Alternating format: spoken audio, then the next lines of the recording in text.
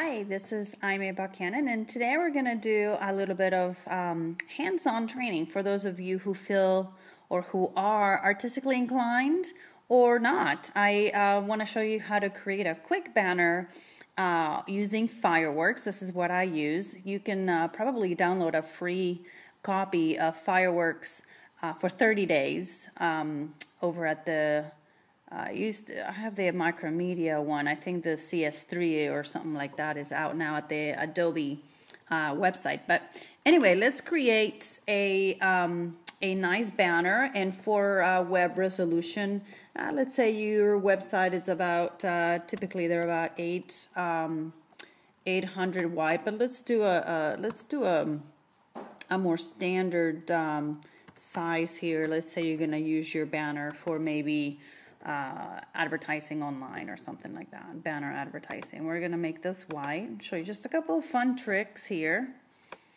Um, yeah, let's make that a little bigger just so that for the sake of, um, of showing you what I'm going to do.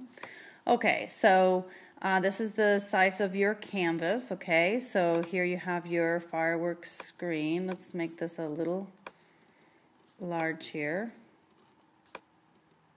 Okay, so the first thing I always do is I always cover the background with a square, and that just gives me some flexibility to add some um, uh, gradients uh, on here so that it looks a little bit more interesting. But for now, we're going to keep it um, somewhat uh, to this color here. We're going to play with uh, maybe red and orange or something like that. So here you have your first um, your first uh, square. All I did was drag that in there. And now I always like to add some fun stuff. So we're going to add another square. Obviously it made it the same color. So we're going to try something on top of that that's a little bit different. Okay, there you go. These are just examples for folks, so obviously pick the colors that you that you like. Um, here's something fun to do with the square. Okay, are you ready? Just go up here under filters and pick uh, your alien uh, candy and choose edges. It's going to convert that square, so just say okay. And I don't know if you can tell from your video, you can see the edges here. You can pick um, different types. I like the lumpy type and then you can adjust your settings a little bit to see how um, how it changes the the edge of your photo of your um, of your square or your rectangle if you would. So there's kind of a fun one. Let's say okay, this is just for the sake of showing you. So there you go. Kind of makes it a little bit um, you know, more artistic if you would.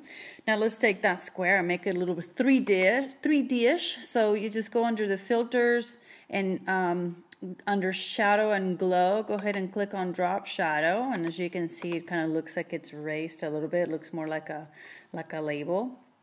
And then I'm going to add um, a little image here. I, for the sake of time and simplicity, I have already saved the image. But uh, what I use is um, I use iStock Photo to get my images. And um, as long as you are not going to physically sell the images, then they're, you know, you just pay for that one time um, credit and they're like a dollar or something like that per image. So they're usually dump them in your desktop. So I'm going to go do an import and uh, click on desktop and I got this dolphin here. Okay, and I'm going to show you something really quick. Take the dolphin and plop it in here. You see that dolphin? And we're going to resize it. And one trick that I found in Fireworks to resize, if you hold down your shift key and uh, with the mouse you just drag that corner in. It'll resize it proportionally. Now um, it's the apple key on your mac and it's the shift key on your pc so if you hold down the apple key um, i'm sorry the control key next to your the shift key. For both actually. Sorry about that. The shift key you can resize it and there's your little dolphin okay um, we're gonna even make that dolphin boop yeah the drop shadow and And there he looks like he's standing out also. And then we're going to do a little bit of fun text here. And we're going to call this, um, let's say, Rocky Point Reservations. This is not my company, just, um, you know, a name I picked that would have dolphins. I would imagine Rocky Point, Mexico would probably have some dolphins going on. So there we go. We can even go a little farther.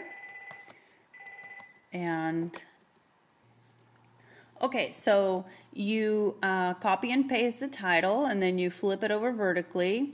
And then what I like to do is um, you take and you make that bottom one um, a little bit more transparent so that it looks like a reflection. Okay.